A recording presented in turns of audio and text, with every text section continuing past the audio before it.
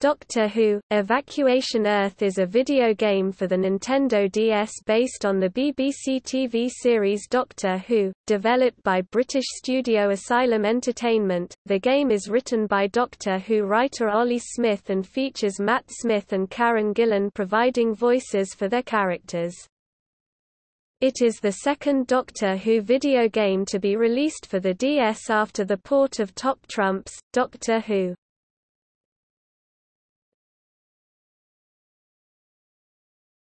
Topic. Plot The story features both the Daleks and Silurians. The Doctor has to help humans as they attempt to evacuate the Earth, while the Daleks intervene and attempt to force the Doctor to help them instead.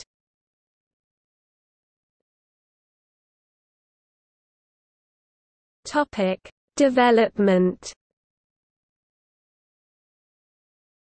On 12 March 2010, it was first reported that Nintendo had signed a £10 million contract with the BBC to bring Doctor Who to the Wii and DS consoles. On 24 August 2010, it was revealed the game would be titled Doctor Who, Evacuation Earth and would be released with a Wii counterpart titled Doctor Who, Return to Earth.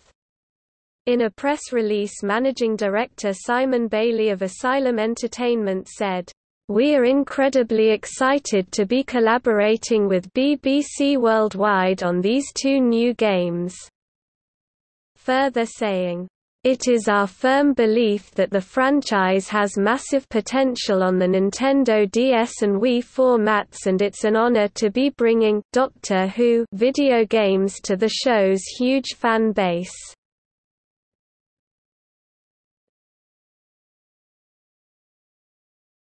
Topic: Reception.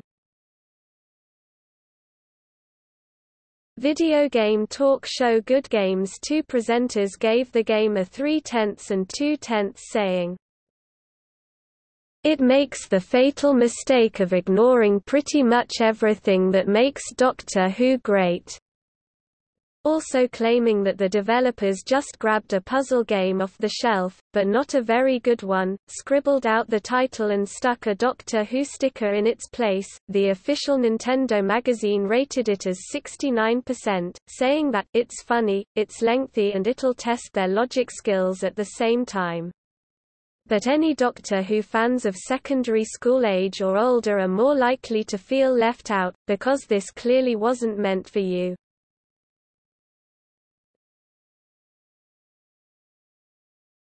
Topic. See also Doctor Who – Return to Earth, another video game released alongside Evacuation Earth